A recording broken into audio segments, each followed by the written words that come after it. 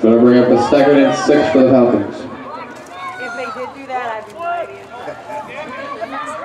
they did. They did. They did. They didn't announce it, but the bales were sitting right behind us. So I was talking to Dan. He goes, that was a. And a long pass. They got 30 yards out of it. and up the Watts. Order.